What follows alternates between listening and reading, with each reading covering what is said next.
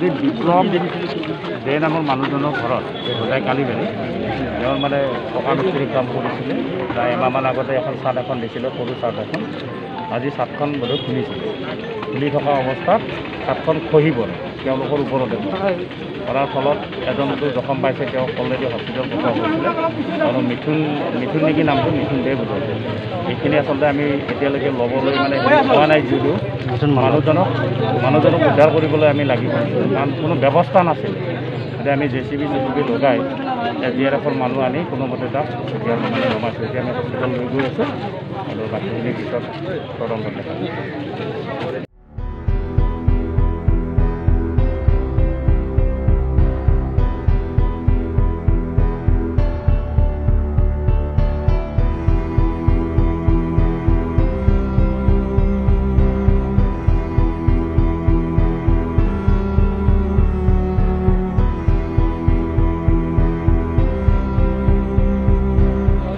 মানে যেতিয়া খুলি আছে তেতিয়া মানে ল'ৰা তাৰ দেউতা হ'ল মেইন মিস্ত্ৰী ল'ৰা যিটো ল'ৰা দোকান এই ল'ৰাটো ল'ৰা নাম কি? নাম হ'ল মিথুন মণ্ডল দেউতাৰ নাম হ'ল ধীৰেণ মণ্ডল দেউতা হ'ল মেইন মিস্ত্ৰী ল'ৰাটো তলত আছিলে এতিয়া যেতিয়া চাকৰি খুলি আছে তেতিয়া মানে চাকটো তাৰ ওপৰত পৰে।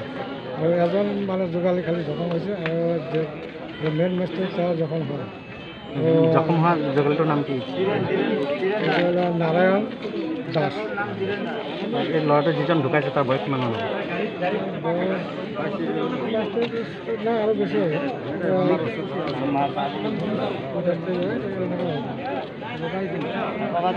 হ'ব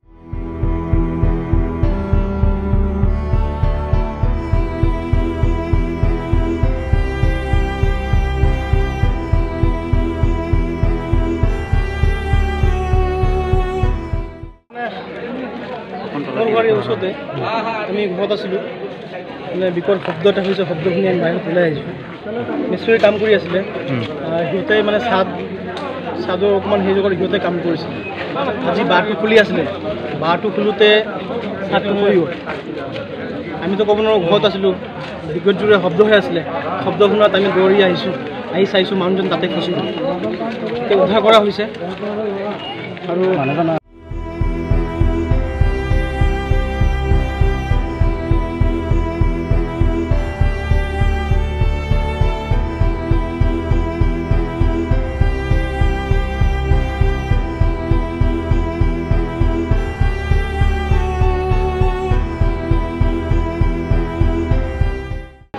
মানুহজনৰ ঘৰ ক'ত দহ ঘৰত শুনা পাইছোঁ আৰু দেউতাও ল'ৰাই একেলগে কাম কৰি আছিলে।